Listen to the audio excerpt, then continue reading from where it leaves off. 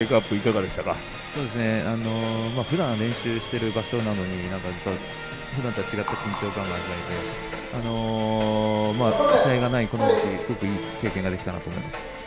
そんな中今日は勝ちたかったでしょいや、そうですね、まあ、勝ちたかったんですけど、あのーまあ特に残念です。